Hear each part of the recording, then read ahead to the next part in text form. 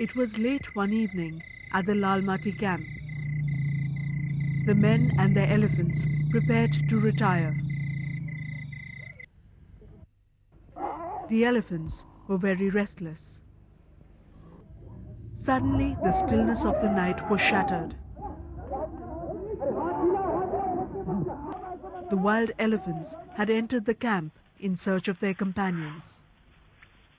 As one of the elephants explored a mahout's tent, a frustrated young calf tried to set free its little captured friend.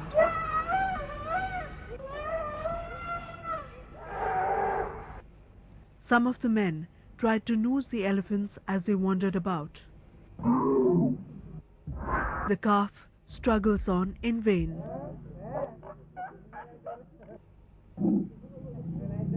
And the tent is brought down in silent rage.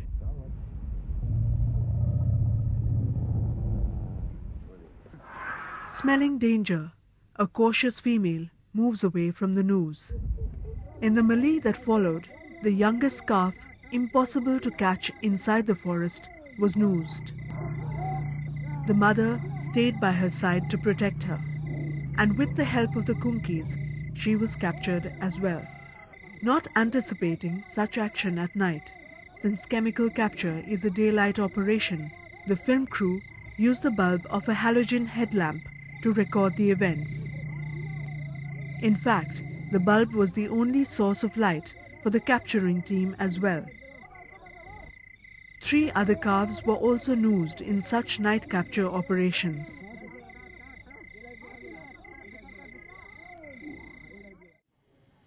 People from miles around moved in to watch the operation. They had to see to believe that these animals had actually been captured.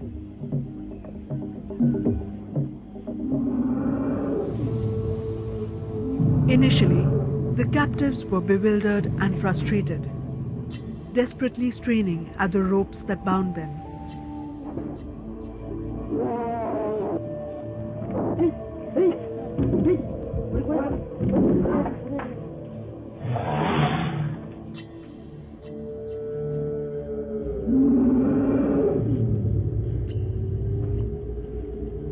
They could not comprehend their captivity.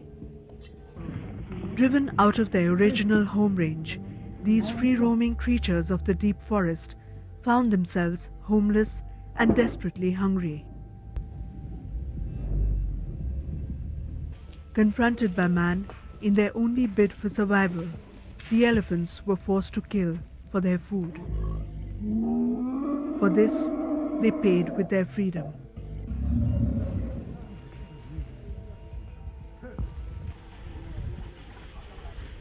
However, within 24 hours of their capture, provided with their basic needs, the elephants calmed down. The presence of the Kumki elephants and a little interaction with them seemed to make the elephants relax further.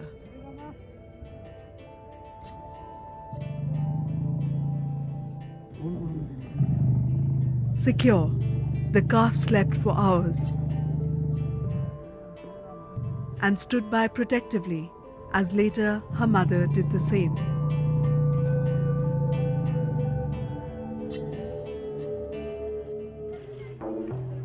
The captured elephants are ready to be transferred to Bargidi, the final training camp. The 20 kilometer march to the training camp begins. After five years of a turbulent existence in these areas, the herd was being led away. The villagers found it hard to believe. Relieved to be rid of the constant threat to their lives, only a few sympathized with the captive herd.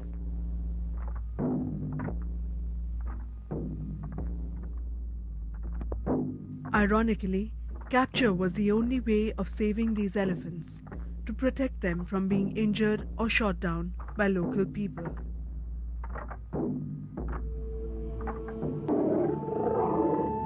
Alternatively, these elephants underwent six to eight weeks of preliminary training at the Bargidi camp.